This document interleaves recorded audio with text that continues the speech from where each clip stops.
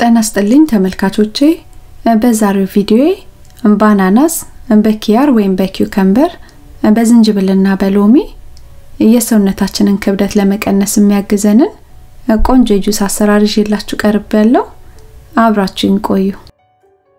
ሎሚውን ግማሹን ነው የምጠቀመው። ዝንጅብሉን ልጭ ያዘጋጀዋለሁ።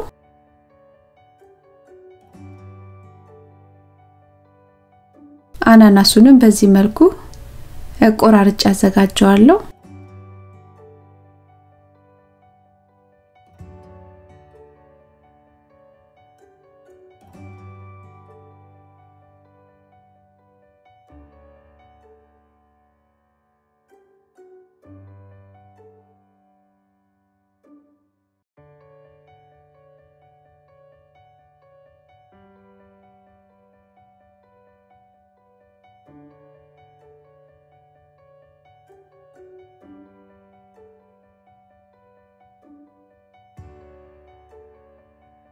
ኪያሩን ወይም ኪውከምበሩን ልጬና ከትፌ ያዘጋጀዋለሁ።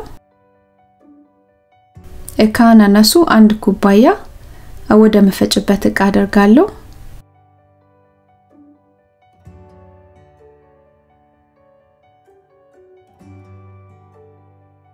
ኪያሩ ተለቅ ቢልም ችግር የለውም፣ ብዙ ካሎሪ ስለሌለው ተለቅ አድርገንም ማስገባት እንችላለን ከፈለግን። ዝንጅብሉን አነስ አነስ አድርጌ ቆራርጬ አስገባለሁ።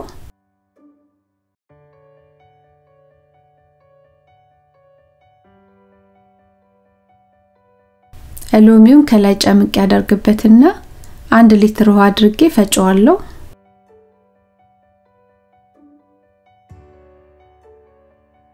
ጁሱ ላይ ምንም አይነት ማጣፈጫ አናደርግም። ጁሱን በምንጠጣበት ሰዓትም ማጥለል የለብንም። እንዳለ ዝም ብለን እንጠጣዋለን። ካዘጋጀሁት ጁስ ግማሹን በባዶ ሆዴ ነው የምጠጣው። ልክ እንደ ቁርስ ማለት ነው የምጠቀመው። ምሳ ላይ ቀለል ያለ ብዙ ካሎሪ የሌለው ምግብ እበላለሁ እና የቀረውን ግማሹን ራት ላይ ልክ እንደ ራት ማለት ነው የምጠቀመው። በመሃል በሚርበን ሰዓት ስናኮችን መመገብ እንችላለን። ቀለል ያሉ ስናኮች ማለት ነው። እና በጣም ብዙ ውሃ መጠጣት አለብን። እኔ በ15 ቀን ውስጥ 23 ፓውንድ ነው የቀነስኩት፣ ማለት ወደ 11 ኪሎ ማለት ነው።